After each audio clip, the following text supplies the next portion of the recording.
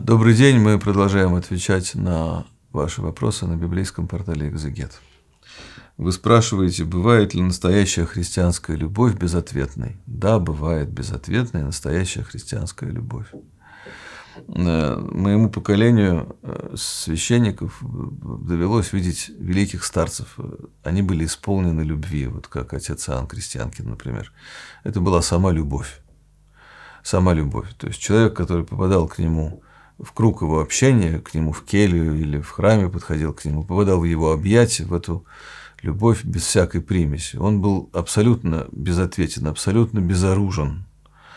И человеку не нужно было больше никаких доказательств бытия Божия и, и, и правоты церкви православной и так далее, и так далее. Но были люди, которых никаким образом встреча с отцом Иоанном Крестьянкиным ни к чему не сподвигла непрошибаемые, совершенно каменные сердца.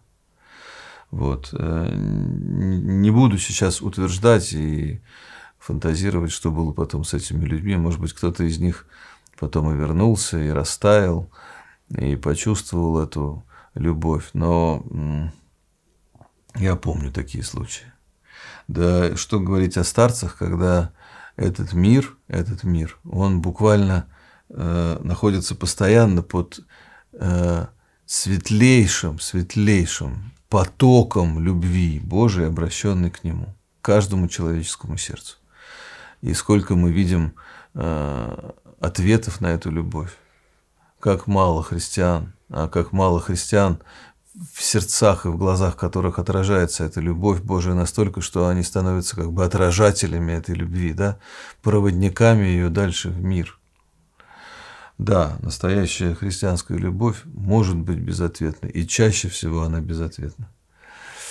Вот. Но это не значит, что не надо любить. Вот. Кто-то говорил из отцов, что нам не заповедано Христом, чтобы нас любили. Вот. Нам заповедано любить других. И еще кто-то говорил из великих, что нам не заповедано Христом, чтобы истина восторжествовала нам заповедано свидетельствовать об истине. Поэтому мы, если имеем внутри себя христианскую любовь, хотя, конечно, это еще большой вопрос, то мы должны всячески осторожно, правда, так чтобы и нам оставалось тоже порционно, но обязательно выдавать ее во внешний мир по направлению к человеку, по направлению для начала к самому близкому кругу нашего общения, которым чаще всего являются наши близкие, наша семья, наши друзья.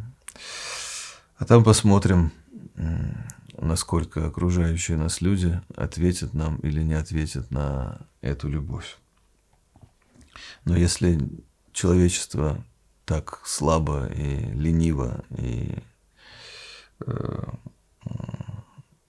тяжело и трудно отвечает самому Богу, то не будем прям думать, что мы быстрее, чем Бог, растопим своей христианской любовью человеческое сердце. Бог терпел и нам велел. Наберемся терпения.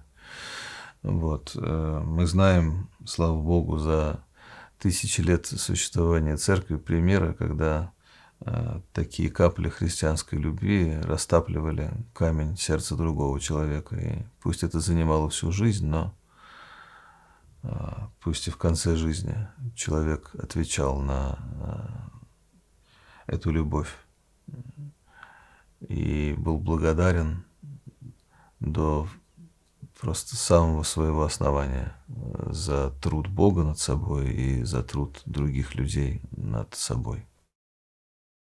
Внеси свой вклад, оцени, подпишись и поделись этим видео.